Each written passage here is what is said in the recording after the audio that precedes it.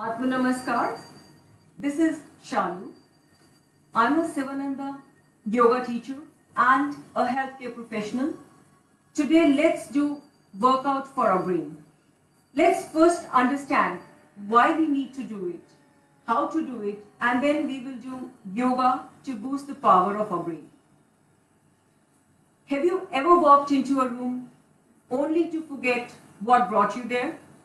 Or you run into someone you have known for many, many years and his or her name slipped your mind, or you engage in a frantic search for missing car keys, glasses, phone, and other everyday items. Well, you're not alone. Our brain plays a phenomenal role in carrying out simple daily tasks, and like our body, it also needs nourishment. Like our body, our brain changes as we get old, and so does the mental function along with, which increases our risk of developing diseases like dementia, with impaired mental ability, Alzheimer's disease, impaired memory, and many neurological disorders. Scientists once thought that our brains stop developing after first few years of life, but fortunately, a lot of research in the field of neuroscience has revealed that we can develop alternate neural pathways and create neurons which are brain cells even in adulthood. The process is neurogenesis which helps to improve our mood, memory and prevents diseases. So let's learn tips to reduce risk of early memory loss. First one is mental stimulation. So as they say, you use it or lose it. So any activity which stimulates the mind or learning a new ability, they help to create alternate pathways in the brain. So try to do mental gymnastics, crossword puzzles, then even learning a new language or reading, especially fiction. Then creating artwork or drawings, anything where we use our hands for precise movements. They are very good. Now, if the activity is interactive, fun and enjoyable, it's even better. So, playing chess, bridge, or you can learn a musical instrument or hit the dance floor. Now, unfortunately, passive activities like watching television and afternoon nap do not help you. Now, the second thing is physical activity. So, uh, fast walking or any aerobic activity like um, riding a bike or swimming for at least 30 minutes a day.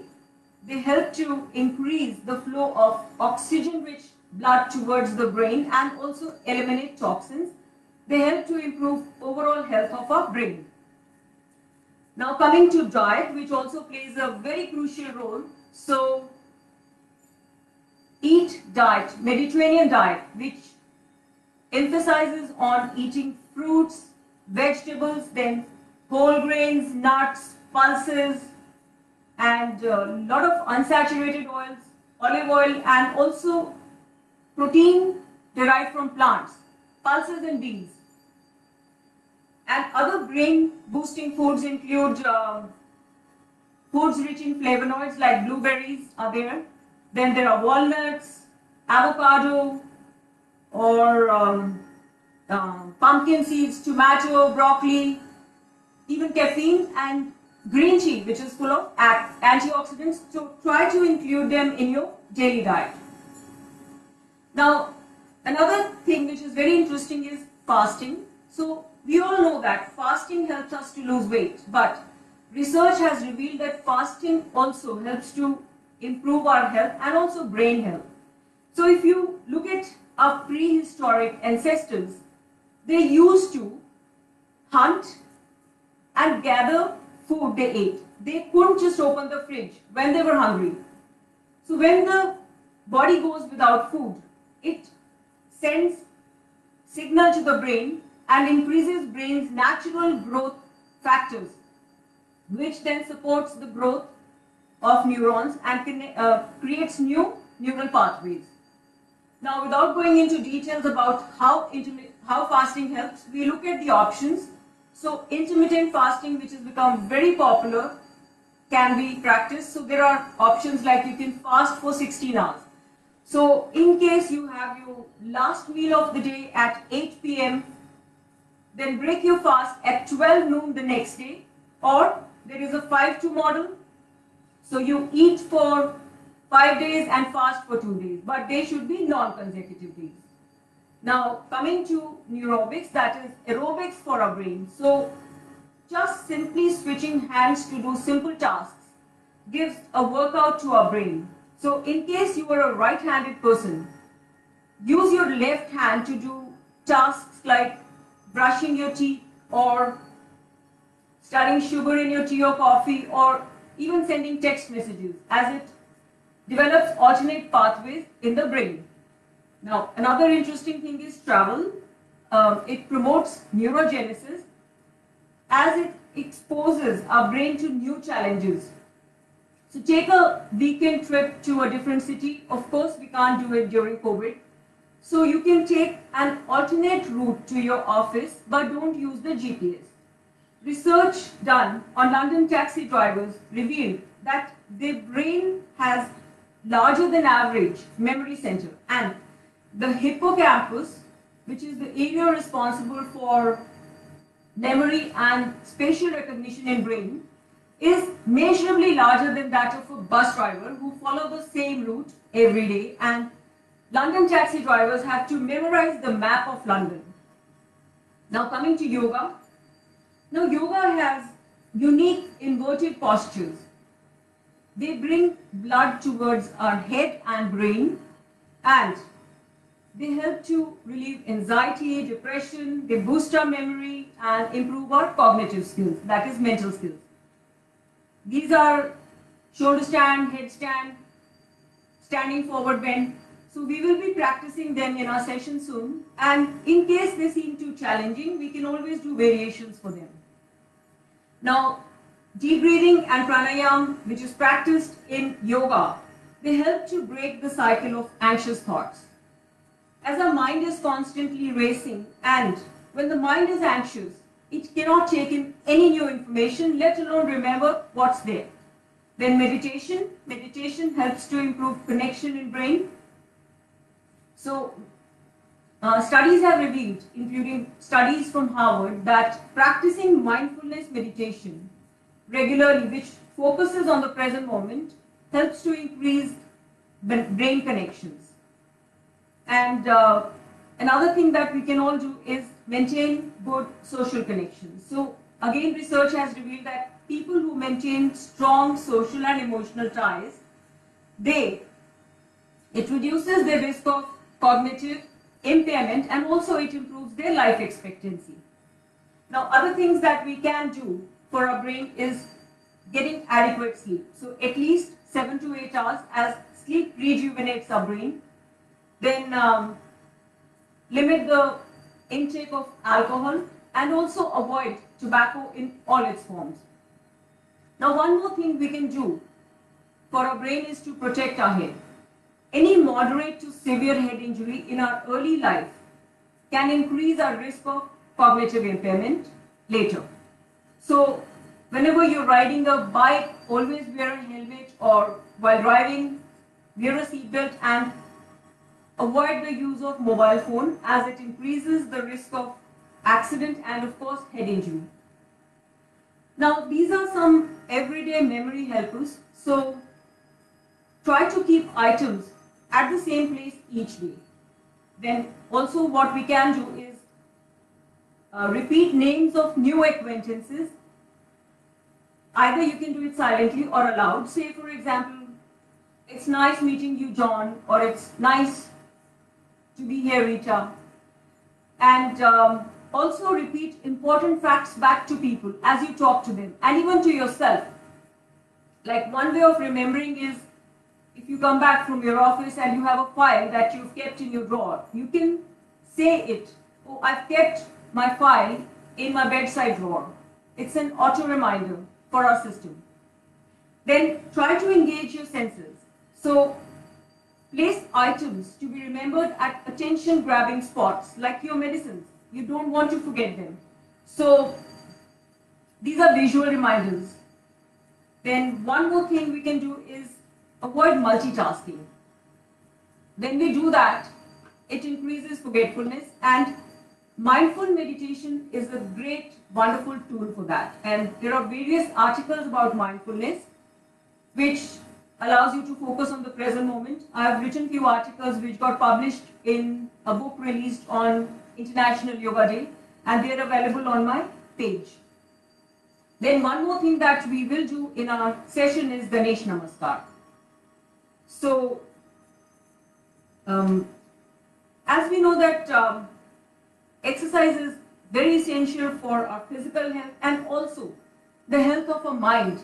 As a lot of people are extremely anxious because we are dealing with a distressing situation, coronavirus, and there is a lot of fear and anxiety about the disease and its outcomes. And having said that, lot of people are wondering if going to a gym or swimming pool or even to a park for jogging or for a walk is a good option because these places can be crowded and with lots of surface area that can transmit infection. But now more than ever, exercise is important to give us protection against the virus. Yoga is a wonderful tool to deal with anxiety and isolation and it can be practiced anywhere and it doesn't require much in terms of equipment. WHO mentions yoga as a means to improve health in its global action plan and as coronavirus attacks our respiratory tract, so practicing breathing and pranayam will help to improve efficiency of our lungs and immunity by pumping oxygen-rich blood to all cells of the body. So after we have taken key precautionary measures for COVID prevention, let's take a deep breath and do the best to calm ourselves. And we begin our yoga practice. So we will close our hands and chant Om three times. So take a deep breath in for Om chanting. We'll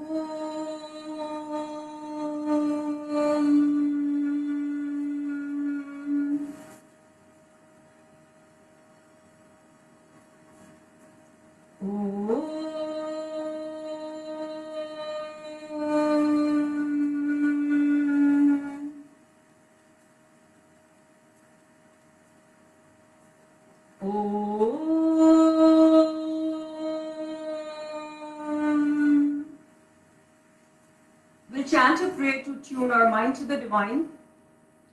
कायेन वाचा मनसेन्द्रया वा बोध्यात्मना वा प्रकृते स्वभावा करोमि यद् यद् सकलं परस्मै नारायणायेत् समर्पयामि नारायणायेत् समर्पयामि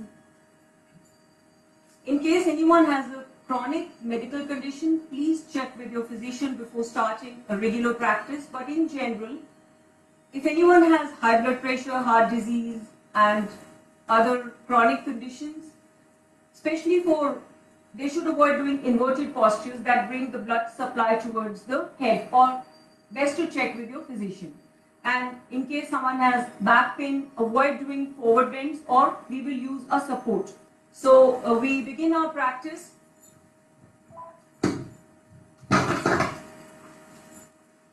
Come to a standing position on the mat and we can start marching. You can start moving your arms or you can do exhale. Exhale. Keep exhaling. Exhaling is very important as it helps to get rid of toxins and when we do deep exhalations, of course, we inhale automatically. If you are lucky enough and you live in an area where you can go for a walk, you can go for a walk before you start your yoga practice or we can do a little bit of warm up to send blood to all the cells and muscles of the body. And let's do it with a smile. Our body doesn't know whether this is real laughter or fake laughter. And as they say, you fake it till you make it. And smile boosts our immunity and relieves anxiety. Now we turn sideways. Exhale. Exhale. Exhale. Just turn sideways.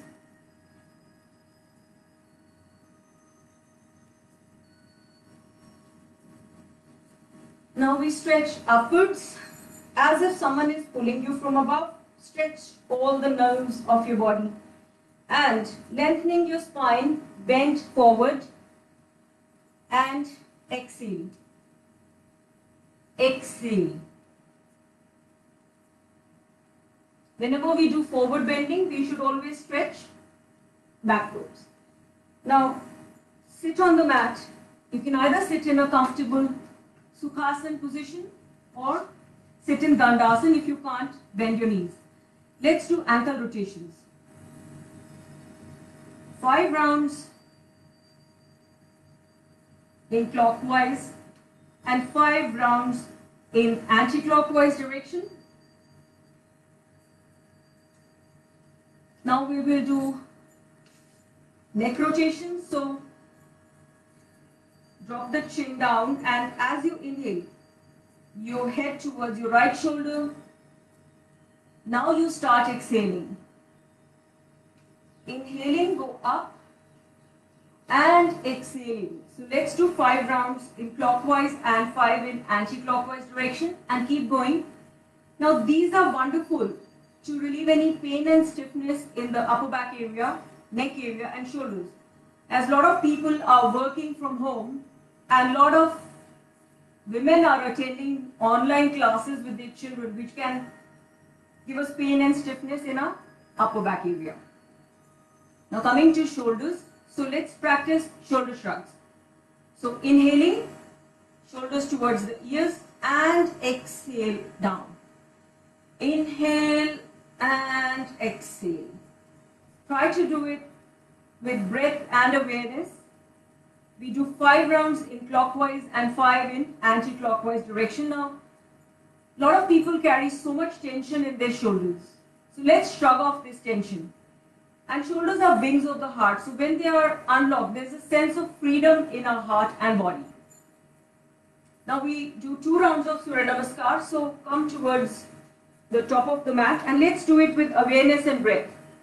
So inhale, exhale, palms together.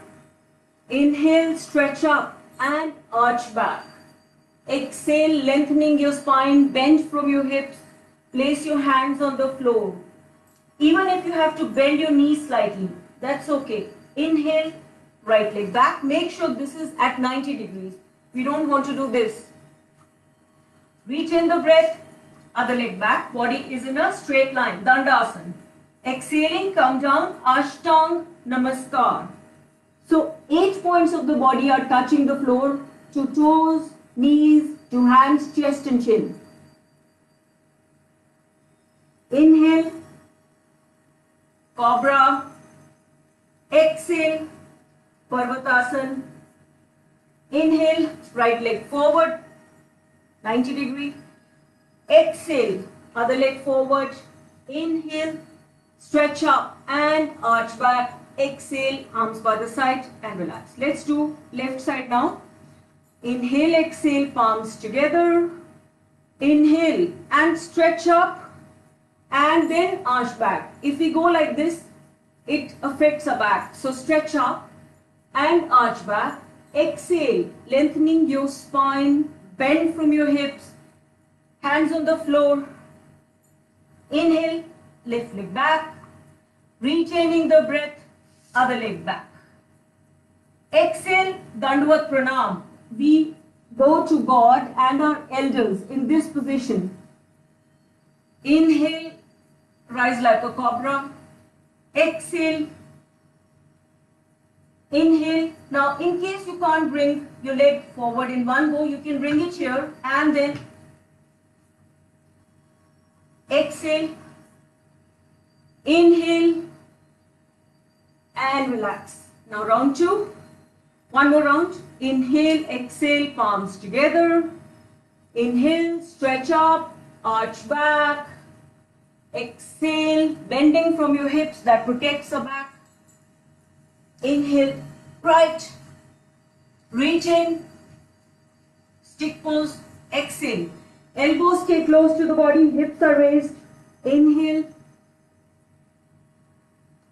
Exhale. Inhale. Exhale. Inhale and relax. And left side and last round. Inhale, exhale, palms together. Inhale, stretch up, arch back. Exhale. Inhale, lift, reaching. Exhale. Inhale, rise like a cobra. Exhale, Parvatasana. Inhale. And relax on the mat in Shavasana and practice deep breathing. Now, because we are doing the practice in the evening, so we will only do two rounds as Surya Namaskar activates our Surya. So if you're practicing in the morning, you can do six rounds, but we don't want to activate our Surya Nadi too much in the evening. So we'll relax in Shavasana on the mat and practice abdominal breathing. It helps to bring the heart rate to normal, prepares us for the next asana. So let's see how we do it.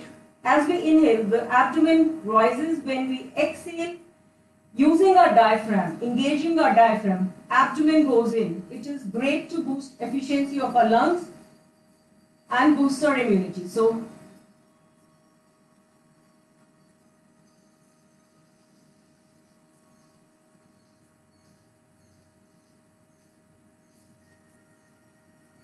you can count inhale two, three, four, exhale two, three, four. That will help to block your thoughts.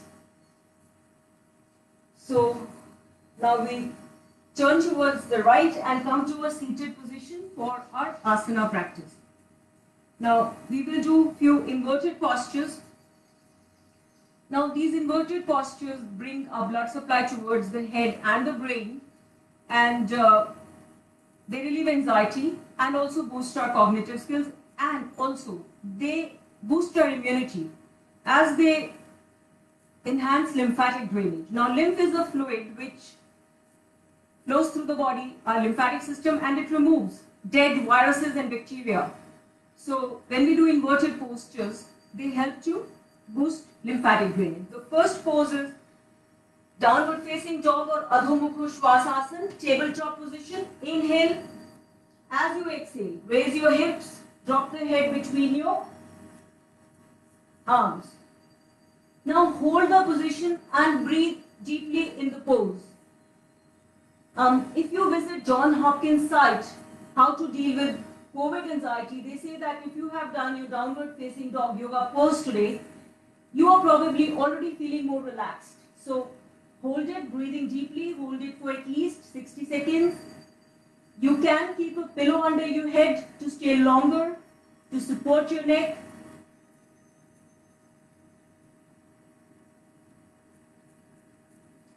And release the posture. Coming to the next pose, that is standing forward bend. Again, um, anyone with back pain will do a variation, so please be careful. Now we start by inhaling and taking the arms above our head. Now stretch as if someone is pulling you from above.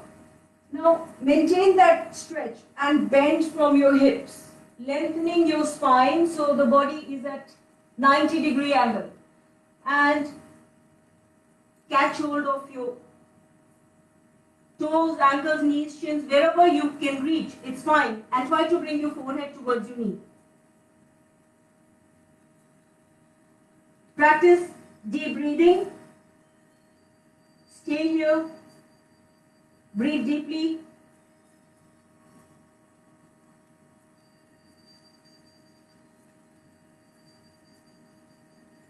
Now, in case anyone has back pain, they can use a chair. And all they need to do is place their head on a chair. This helps us to stay longer in the pose and also it's uh, for backward uh, bending if someone has back pain. Now, whenever we do backward bending, we should always do a counter stretch to balance our spine position. So stretch backwards. Now, these poses, they improve also, they relieve anxiety and depression. And uh, whenever you hold a stretch, try to hold it for at least 60 seconds. In case you hold a stretch, you can hold it for 20 seconds, do 3 repetitions, or if you can hold it for 30 seconds, then at least repeat it. Now, the next pose is queen of all asanas and that is shoulder stand. So, please do it only if it is a part of your regular yoga practice as it's an inverted pose and anyone with blood pressure and we will be doing a variation. So neck pain, shoulder pain, heart disease. We will do legs up the wall pose. So let's start.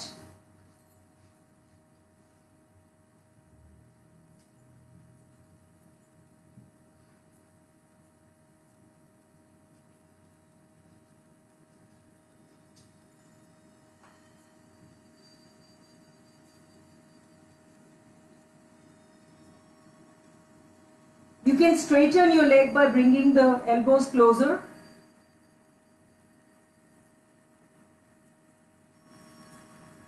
Stay here for 30 to 60 seconds.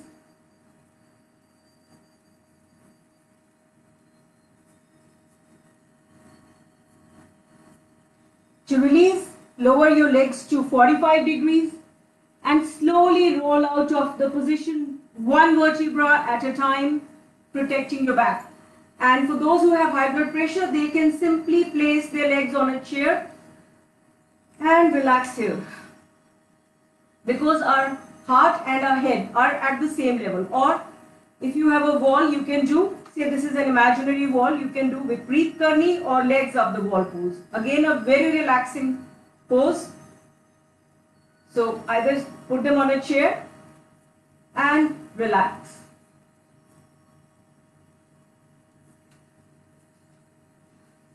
Now, let me share something about uh, these inverted postures with you. Um, when yoga was becoming popular in Europe in 60s, Queen of Belgium decided to learn an inverted pose headstand and she learned it from BKS Iyengar and she managed to learn it and practice it. And guess what? She was in her 80s.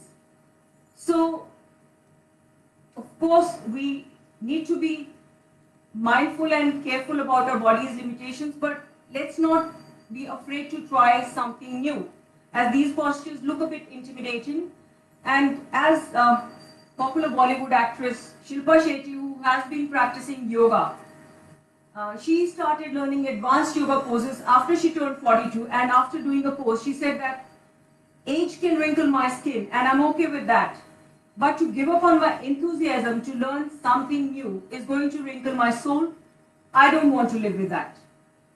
So again, you have to be careful about your body's limitations, but let's not underestimate our strengths. Now, whenever we do shoulder stand, we do a counter pose and that is fish. Matsyasana, hands go under the thighs. As you inhale, head up, chest up, and exhale, drop the head back. Now, weight of our body is on our elbows, head is only touching the ground. Our rib cage is expanded, so practice deep breathing. A great pose to improve our lung efficiency and boost our immunity as anti-aging benefits also, so does shoulder stand. Brings the blood supply towards the head, towards the face, towards the eyes.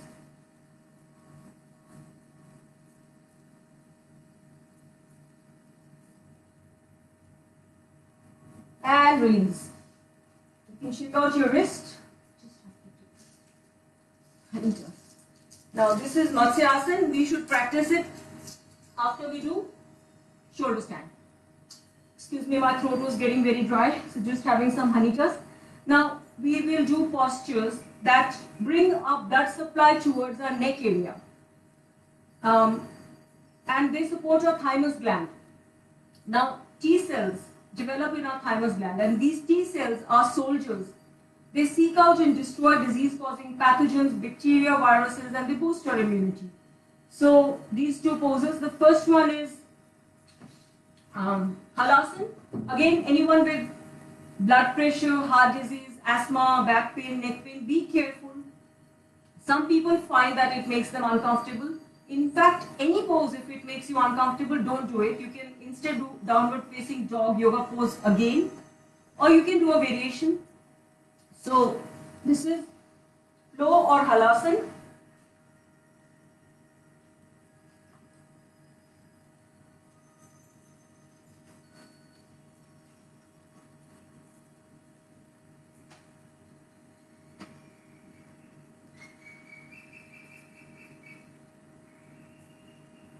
In case your toes don't touch the ground, you support your back with your hands. Stay here, breathing deeply.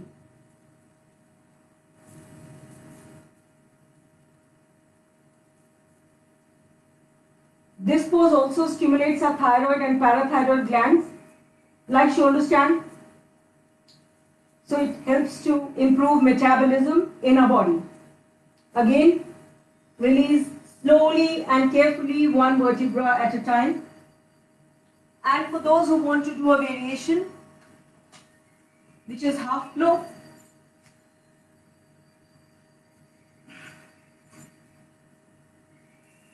place your legs on a chair.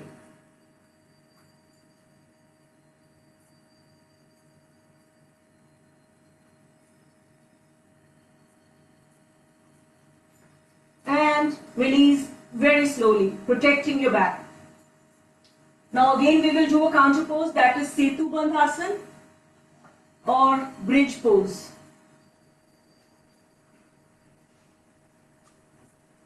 So inhale now. There is a straight line from our knees through our hips to our shoulders. This is Setu Bandhasana.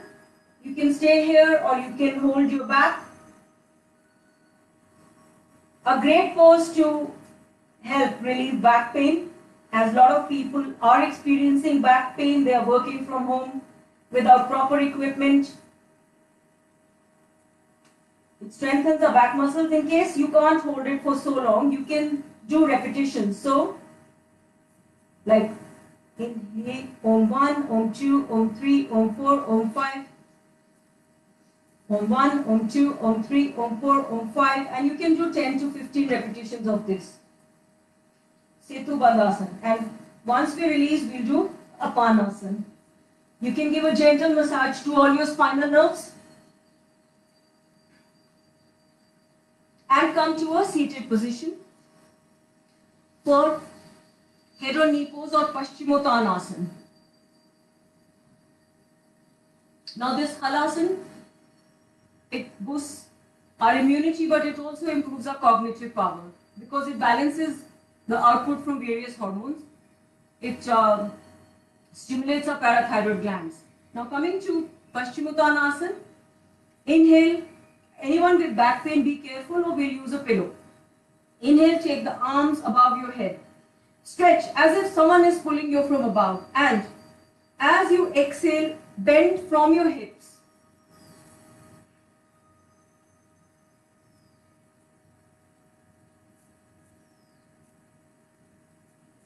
Catch hold of your ankles, shins, knees, wherever you can reach comfortably. Yatha samar.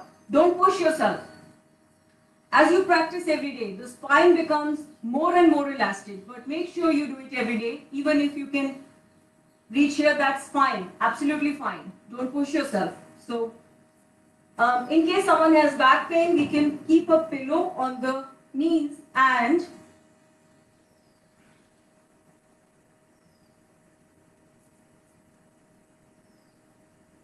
Try to stay here for 60 seconds. Now this is a great pose. It gives a gentle massage to all our internal organs. Pancreas, liver, kidneys, spleen, great for people with diabetes. It stimulates the pancreas.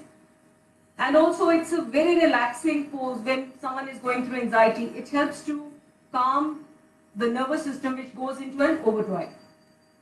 Now we do a small variation of this pose by stretching our legs sideways. And this is a great pose, especially for women as it helps to relieve menstrual and menopausal symptoms. Again, we do the same thing. Inhale, arms above the head and exhale and come down from the hips.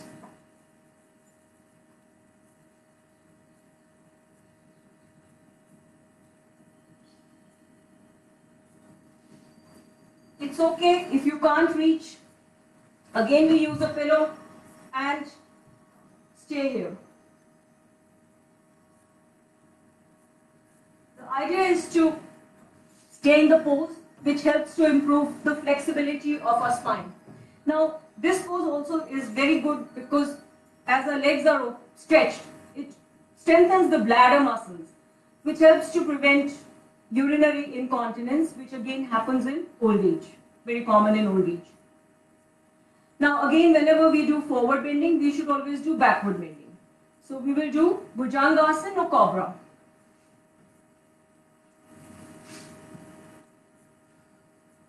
The palms are under the shoulders, feet together. Inhale, raise your head up and chest up. And do it slowly as a cobra comes out of its hood. Visualize the smooth and graceful motion of a cobra. Now make sure you don't hunch your shoulders because this contracts our chest. We want the chest to expand and elbows stay close to the body. Let's not do this. Again, this is a great pose to combat depression. Any backward bending chest opening pose helps to relieve depression by clearing any blockages in and around the heart and also great pose to relieve back pain. And uh, we can do a modification in case this is too intense. You can stay on your elbows, not your hands. So we do counter pose, which is child pose.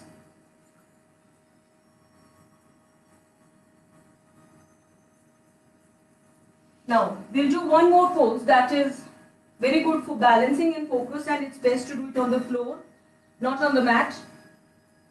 Yeah, that is Vriksha Asana 3 or Bhagirath. So, palms together. You can just do this, that's fine. Or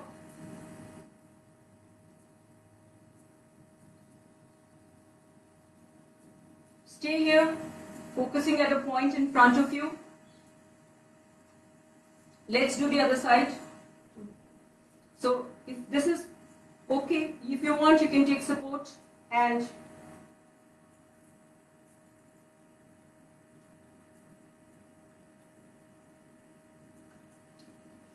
Great pose to improve balance, stability in the body, and focus and concentration. It's named, also called Bhagirath Asana, named after a rishi who stood on one leg uh, to appease Lord Shiva and to bring Ganges from the heaven to the earth. And this that's what they say.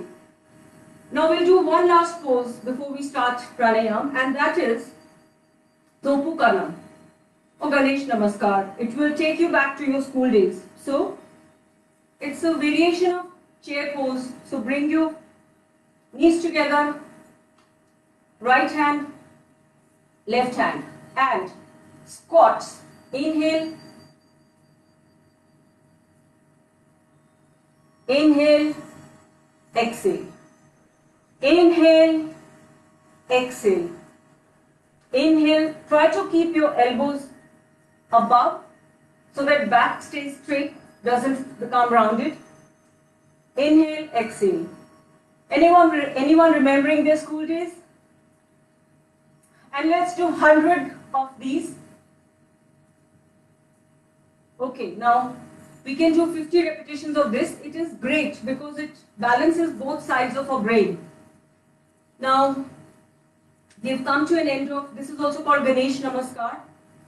And now we will do some pranayam. So we can relax for a few minutes in Shavasana. Legs apart, arms apart, palms facing upwards. Try to bring the heart rate to normal by practicing deep abdominal breathing. Now turning towards one side, come to a seated position on the mat and let's do 50 pumpings of Kapalabhati. So those who know how to do it, start on their own, both hands in Chin Mudra. First exhalation followed by passive inhalation.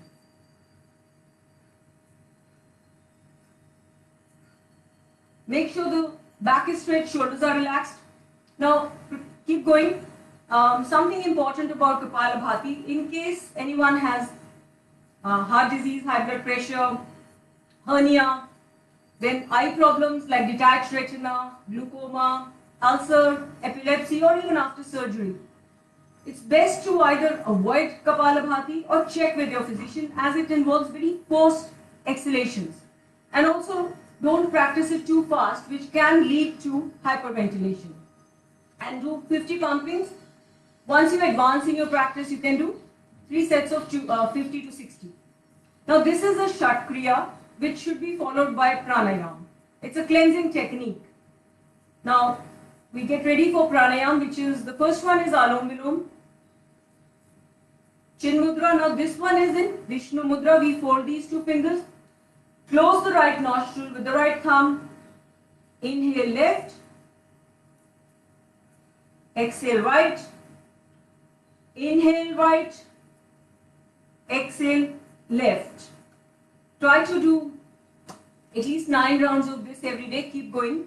And try to take more time to exhale. So double in case you are inhaling to a count of three, exhale to a count of six, or in case you are inhaling to a count of four, exhale to a count of eight to get rid of toxins eh, while exhaling.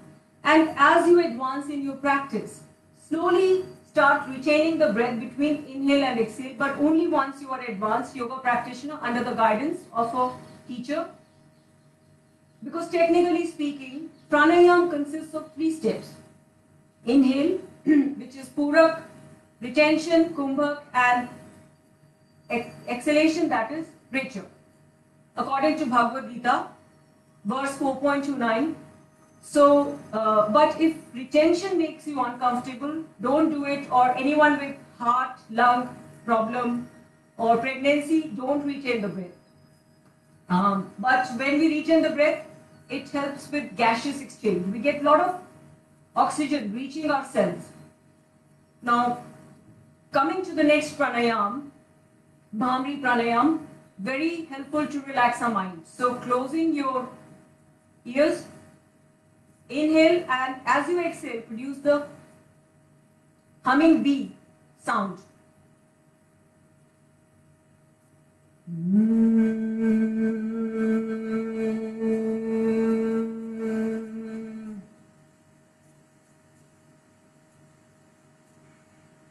Two more rounds.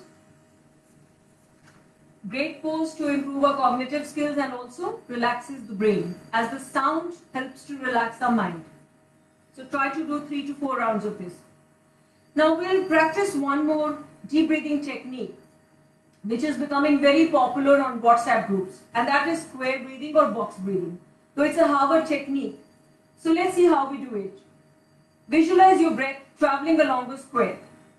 And as you inhale, then retain the breath or exhale, slowly count to three on each side. So inhale up, first side of the square, one, two, three. Retain, one, two, three. Exhale down this side of the square, one, two, three, and retain. So let's practice it for a few minutes.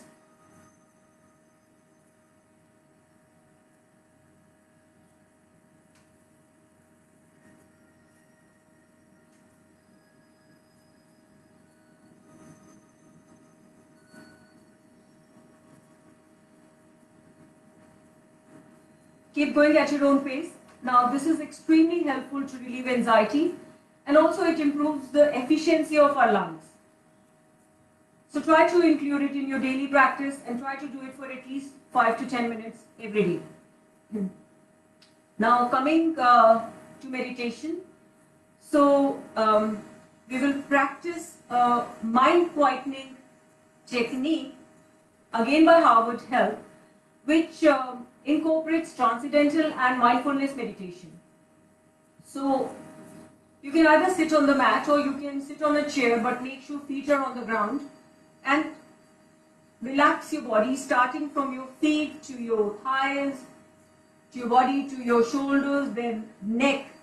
And then take slow, long, deep inhalations and at each exhalation, say the word peace and you can either say it out loud or silently and continue to do so for 10 minutes at least when stray thoughts interfere as they will. So just greet them, acknowledge them, accept them. Don't judge them, just be a silent observer and let them go and return to your word. You can choose any other word happiness, peace, I'm happy. And uh, when we chant out loud, it helps to drown our thoughts. And um, try to, after a few weeks of practicing this, you should feel calm and relaxed.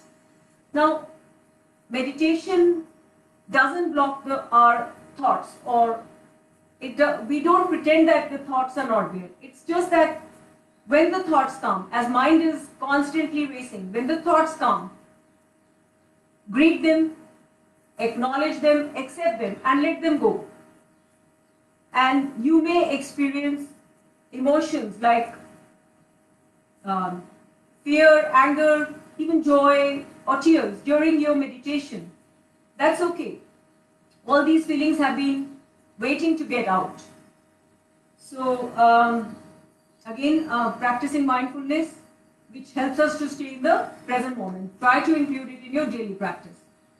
Now, we will we're coming to an end of a practice. Before we do so, we will bring our palms together and do some visualization or affirmations of gratitude.